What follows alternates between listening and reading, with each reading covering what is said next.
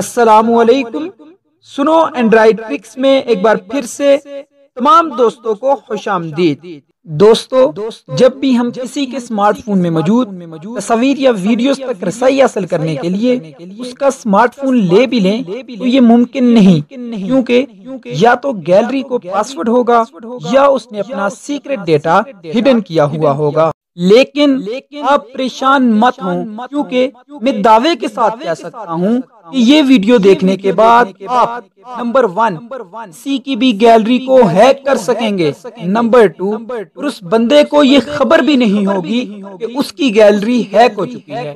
Number तीन उसके पास जब भी कोई न्यू पिक्चर या वीडियो आएगी वो आपके पास खुद ब खुद शो हो जाएगी। तो चलें मैं आपको बताता हूँ कि आपने गैलरी को कैसे हैक करना है।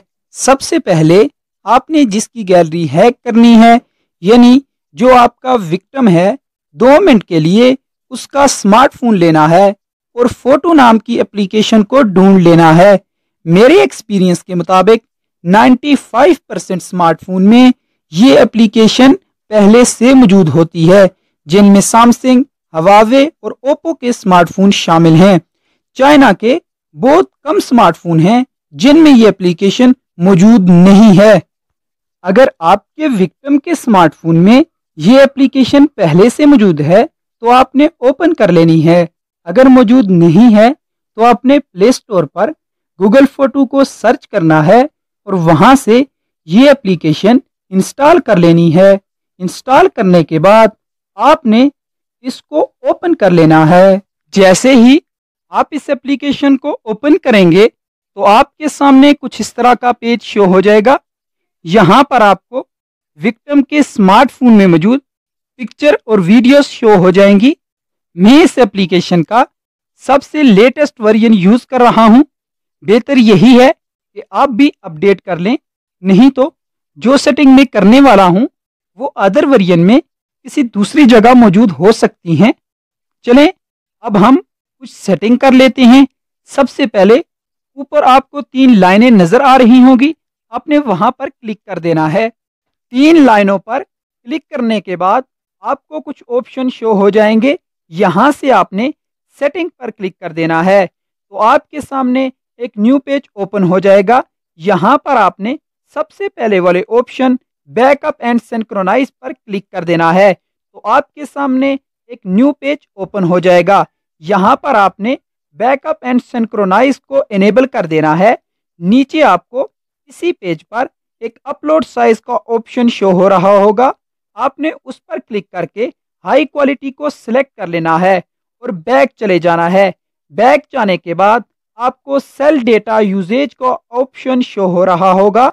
आपने उस पर क्लिक कर देना है। क्लिक करने के बाद आपने उसमें मौजूद तमाम ऑप्शन को इनेबल कर देना है। फिर से बैक चले जाना है। बैक जाने के बाद बैकअप डिवाइस फोल्डर में मौजूद जितने भी फोल्डर हैं, उनको इनेबल कर देना है।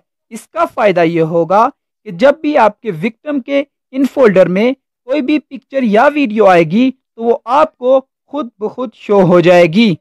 ये सारी सेटिंग करने के बाद आपने बैक चले जाना है तो आपको तीसरे नंबर पर नोटिफिकेशन का ऑप्शन शो हो रहा होगा। आपने उस पर क्लिक कर देना है। जैसे ही आप उस पर क्लिक करेंगे तो आपके सामने एक न्यू पेज ओपन हो जाएगा। यहाँ पर आपको नोटिफाई ऑन दिस डिवाइस का ऑप्शन नज़र आ रहा होगा। ये पहले से इनेबल है। आपने ध्यान से इसको डिसेबल करना है। इसको इनेबल कभी भी नहीं छोड़ना, क्योंकि इसका फ़ायदा ये होगा कि जब भी आपके पार्टनर की कोई भी पिक्चर या वीडियो आपके पास आएगी तो उसको नोटिफिकेशन नहीं मिलेगा। इसके ऊपर आपको सुजेस्टेड शेयरिंग का ऑप्शन नज़र आ रहा होगा। आपने उसको इनेबल ही रहने देना है, उसको डिसेबल नहीं करना, क्योंकि उसका फ़ायदा ये होगा कि जब भी आपके विक्टिम के पास कोई भी न्यू पिक्चर या वीडियो आएगी तो उसका नोटिफिकेशन आपको भी शो हो जाएगा। ये सारी सेटिंग करने के बाद आपने वापस उसी पेज को ओपन कर लेना है, जहाँ आपको विक्टिम की पिक्चर और वीडियो शो हो रही थी, यहाँ आपको नीचे शेयरिंग का ऑप्शन नज़र आ रहा होगा। आपने उस पर क्लिक कर देना है। जैसे ही आप उस पर क्लिक करेंगे तो एक न्यू पेज ओपन हो जाएगा। यहाँ पर आपको ऐड पार्टनर अकाउंट का ऑप्शन नज़र आ रहा होगा। आपने उस पर क्लिक कर देना है तो एक न्यू पेज ओपन हो जाएगा। यहाँ पर आपने गेट स्टार्टेड पर क्लिक कर देना है तो उसके बाद न्यू पेज पर आपने अपना जीमेल अकाउंट लगाना है। आपको इस बात का ध्यान रहे कि यहाँ पर आपने वो वाला जीमेल अकाउंट एंटर करना है जिसको आप अपने स्मार्टफ़ोन पर यूज़ कर रहे हैं। जैसे ही आप जीमेल अकाउंट एंटर करेंगे तो आपको जीमेल अकाउंट का लोगो शो हो जाएगा। आपने उस पर क्लिक कर देना है तो ऊपर आपको नेक्स्ट का ऑप्शन शो हो जाएगा। आपने उस पर क्लिक कर देना है तो आपके सामने एक न्यू पेज ओपन हो जाएगा। यहाँ पर आपने आल फ़ोटो को सिलेक्ट करके दोबारा नेक्स्ट पर क्लिक कर देना है। तो अगेन आपके सामने न्यू पेज ओपन हो जाएगा। यहाँ पर आपको नीचे सेंड इनविटेशन का ऑप्शन शो हो रहा होगा। आपने उस पर क्लिक कर देना है। दोस्तों, ये सारा काम आपने विक्टिम के स्मार्टफ़ोन पर करना है, जिसकी आप गैलरी हैक करना चाहते हैं। इसके बाद आपने अपने स्मार्टफ़ोन की उसी एप्लीकेशन को ओपन कर लेना है।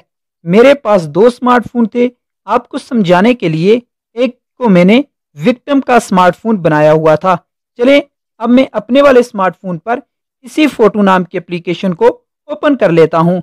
जैसे ही मैं ओपन करूँगा तो नीचे आपको शेयरिंग का ऑप्शन शो हो रहा होगा। आपने इस पर क्लिक कर देना है तो आपको न्यू पेज पर इनविटेशन शो हो जाएगी। आपने इस पर क्लिक करके इनविटेशन को एक्सेप्ट कर लेना है। इनविटेशन एक्सेप्ट करने के बाद विक्टिम के स्मार्टफ़ोन में मौजूद पिक्चर और वीडियोस आपको शो हो जाएँगी। अब जैसे ही विक्टिम के स्मार्टफ़ोन में कोई न्यू पिक्चर या वीडियो आएगी तो आपको उसका नोटिफिकेशन मिल जाएगा। अब अगर आपने उन पिक्चर या वीडियो को देखना है तो आपने उसी फ़ोटो नाम की एप्लीकेशन को ओपन कर लेना है। नीचे दिए गए शेयरिंग ऑप्शन पर क्लिक करना है। जैसे ही आप शेयरिंग ऑप्शन पर क्लिक करेंगे तो आपको विक्टिम का नाम शो हो जाएगा। मुझे यहाँ पर सफ़ी रहमान लाइब्रेरी लिखा हुआ शो हो रहा है, क्योंकि मैंने आपको समझाने के लिए अपने ही दूसरे स्मार्टफ़ोन की गैलरी को हैक किया है। अब आपने उस नाम पर क्लिक करके पिक्चर और वीडियोस को देख लेना है।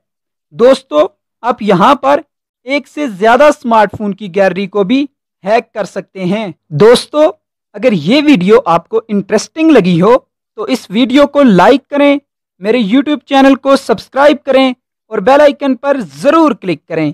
इनशाला अब हम मिलेंगे एक न्यू वीडियो के साथ।